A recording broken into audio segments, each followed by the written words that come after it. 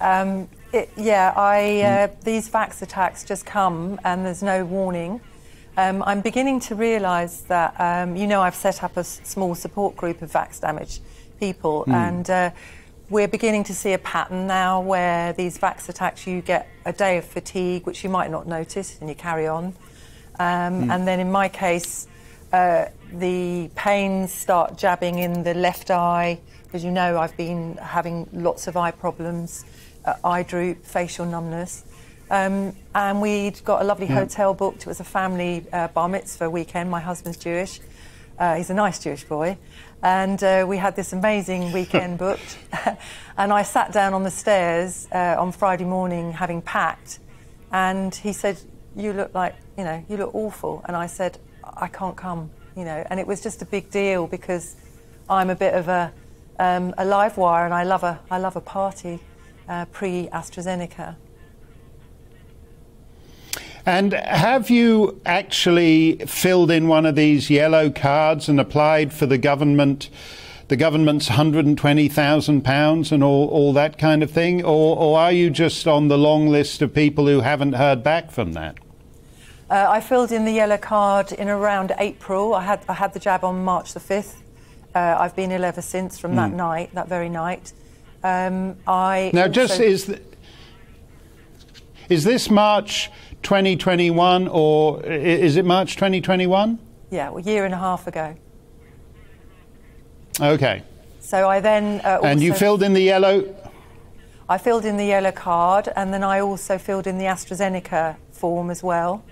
Uh, and that's really frustrating because you just get these uh, ridiculous emails back that are on some really old-fashioned format that uh, you can't even read it on your phone. You have to go up to a computer.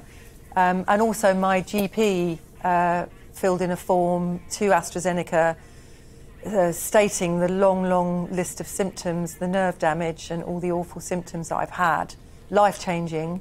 Um, and she sent it last September, the 21st, um, and she's only had a, an auto reply. She's never had a response.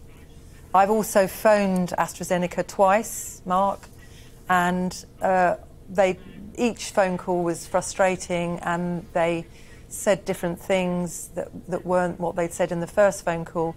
And on the second phone call, I just put down the phone in tears because it was just so frustrating. They don't care. So your life has.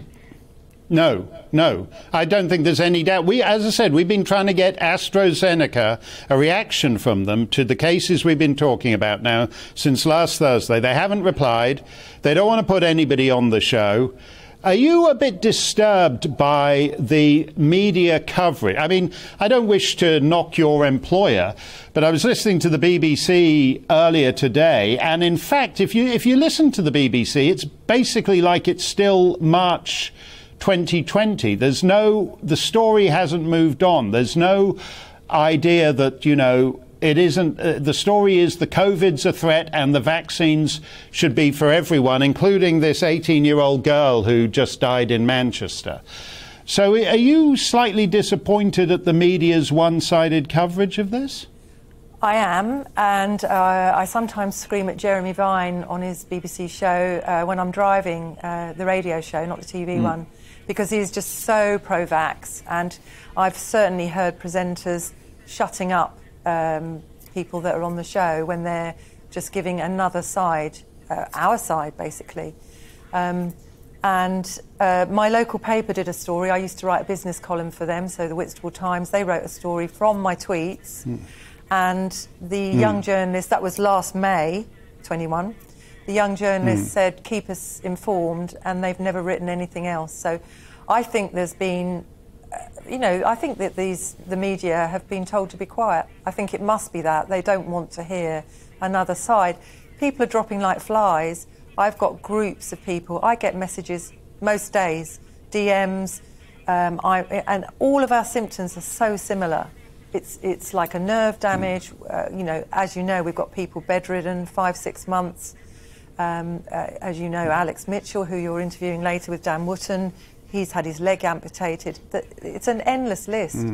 And even in my everyday life, if I'm having my nails done or something, the young girl there had Pfizer.